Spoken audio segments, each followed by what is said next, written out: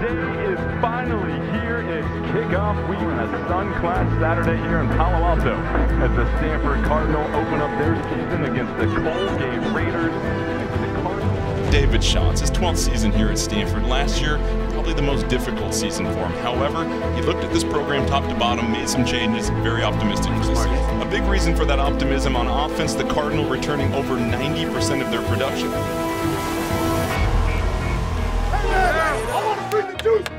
Here's Smith bouncing around, takes it to the left, and a huge explosion play.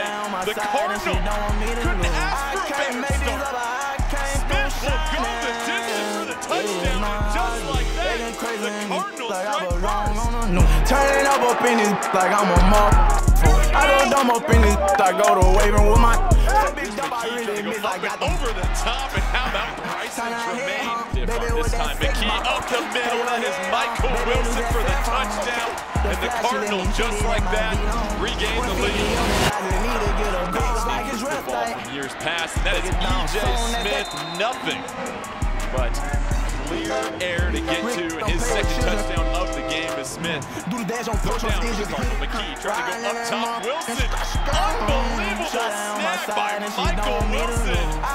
Second touchdown game.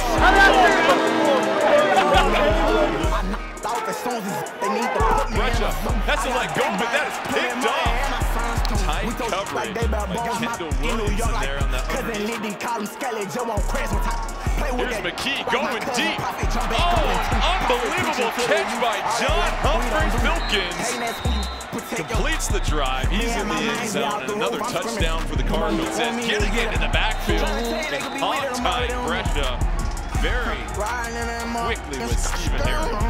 Here's Patu trying to go through the air. That is hauled in for the touchdown. Mudia Reuben. But the youngster getting on the board.